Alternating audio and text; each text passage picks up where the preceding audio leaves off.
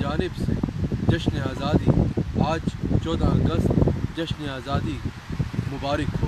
میں آپ سب احباب کو دل کی عطا گہرائیوں سے جشن آزادی کی مبارک بات پیش کرتا ہوں۔ یقیناً وطن کی محبت ایک خون میں رچی بسی ہوئی چیز ہے۔ اسی جذبے کے تحت آج نہ صرف پاکستان میں، بلکہ دنیا بھر میں محب وطن پاکستانی خوش ہیں جشن آزادی منا رہے ہیں اور اللہ کریم کا شکر ادا کر رہے ہیں کہ اللہ کریم نے ہمیں پاکستان عطا فرمایا، جو کہ اسلام کا قلعہ ہے اور مدینہ منورہ کے بعد پہلی ریاست ہے جو اسلام کے نظریے پر قائم کی گئی۔ اور الحمدللہ، یہ وہ ریاست ہے کہ جس کو خالصتاً اسلام کی خاطر اس قائم کیا گیا اور اس کا خمیر عشق مصطفیٰ ہے۔ ہاں اس ریاست کا خمیر عشق مصطفیٰ ہے، اس کے خمیر میں عشق مصطفیٰ شامل ہے۔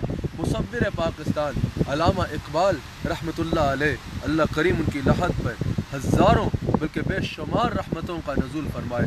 انہوں نے جب پاکستان کا تصور پیش کیا تو وہ خود کہتے ہیں کہ میں نے پہلے ایک کروڑ مرتبہ حضور علیہ السلام کی بارگاہ میں درود و سلام کا نذرانہ پیش کیا، درود و سلام کا نذرانہ پیش کیا۔ میں نے پاکستان کا خیال پیش کیا۔ تو اس پاکستان کا خمیر عشق مصطفیٰ ہے۔ اللہ اکبر۔ اس وجہ سے میں نے یہ بات بیان کی کہ آج میں اپنے سننے والے تمام احباب کو یہ کہنا چاہتا ہوں کہ مصور پاکستان نے جب پاکستان کو بنانے کا خیال پیش کیا تھا تو ایک کروڑ مرتبہ مصطفیٰ کی ذات پہ درود و سلام پڑھا تھا۔ آج چودہ اگست کو سڑکوں پہ پاکستان پہ موٹر سائیکل بھگانے یا جو ہے وہ عجیب چائے کے پھٹوں پہ بیٹھ کے شور مچانے سے بہتر ہے۔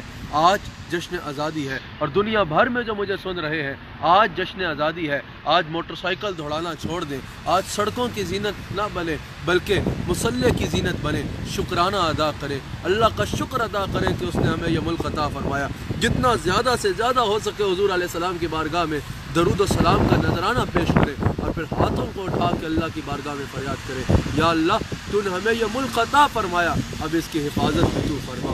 اب اس کی حفاظت بھی تو فرما۔ اس کی حفاظت بھی تو فرما۔ ایک مرتبہ پھر میں پاکستان بھر میں بسنے والے مسلمانوں اور تمام مذاہب سے تعلق رکھنے والے لوگ جو پاکستان میں بستے ہیں، وہ بھی بالکل اس طرح پاکستانی ہیں جس طرح ہم پاکستانی ہیں۔ جتنی مائنورٹیز پاکستان میں بستی ہیں کیونکہ میں ایک ریلیجس لیڈر مسلم ہونے کے ناطے جتنے مائنورٹیز بھی پاکستان میں بستی ہیں، جس مذہب سے تعلق رکھنے والے بھی احباب حضرات پاکستان میں بستے ہیں، مجھے سن رہے ہیں۔ جس طرح ہم پاکستانی ہیں، اسی طرح وہ بھی پاکستانی ہیں۔ میں پاکستان کا یوم آزادی آپ سب کو مبارکباد پیش کرتا ہوں۔ اور میں نے بالخصوص یہ اس لیے کہا کہ جس مذہب کا بھی تعلق رکھنے والا پاکستانی پاکستان میں مجھے سن رہا ہے، اس کو جشن آزادی مبارک ہو، کیونکہ میں بتانا چاہتا ہوں کہ رسول اللہ صلی اللہ علیہ وآلہ وسلم کا جہاں دین ہو، وہاں ہر انسان کو ایک جیسا حقوق ملتے ہیں، وہاں ہر انسان کو سٹیزن رائٹ ملتا ہے۔ جہاں رسول اللہ صلی اللہ علیہ وآلہ وسلم کی محبت ہو اور جہاں رسول اللہ کا دین ہو، وہاں ہر انسان کو، ہر مذہب کو تحفظ ملتا ہے اور وہاں ہر انسان کو ویسا ہی سٹیزن رائٹ ملتا ہے جیسا مسلمانوں کو ملتا ہے۔ پاکستان میں تعلق رکھنے والے جس مذہب سے، جس رنگ و نسل سے، جس کمیونٹی سے تعلق رکھنے والے ہیں، سب کو بلا تفصیص میری جانب سے جشن آزادی مبارک ہو۔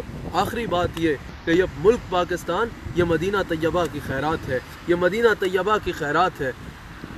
اس کی ایک، اس کا نام بھی بتا رہا ہے۔ پاکستان کا نام بھی بتا رہا ہے کہ یہ مدینہ طیبہ کی خیرات ہے۔ مدینہ کا ایک معنی ستان ہے۔ مدینہ کا ایک معنی ستان ہے اور پاک کا ایک معنی طیبہ ہے۔ پاک کا ایک معنی طیبہ ہے۔ تو اس کا نام بتا رہا ہے کہ یہ مدینہ طیبہ کی خیرات ہے۔ پاک کا معنی طیبہ اور مدینہ کا معنی ستان۔ اس کا نام بتا رہا ہے کہ پاکستان براہ راست مدینہ منورہ کی عطا سے چل رہا ہے اور یہ مدینہ طیبہ کی خیرات ہے۔ تمام پاکستانی جشن آزادی منائیں۔ اس انداز میں کہ میرے آقا پر درود و سلام پڑھیں۔ میں اس وقت لنڈن میں ہوں اور لنڈن سے دعا گو ہوں اپنے ملک پاکستان کے لیے۔ کہ اللہ کریم پاکستان کو دہشت گردی سے محفوظ فرمائے۔ اللہ کریم پاکستان کو انتہا پسندوں سے محفوظ فرمائے تاکہ انتہا پسند ہمارے لوگوں کا برین واش کر کے ان کو دہشت گرد نہ بنا سکے۔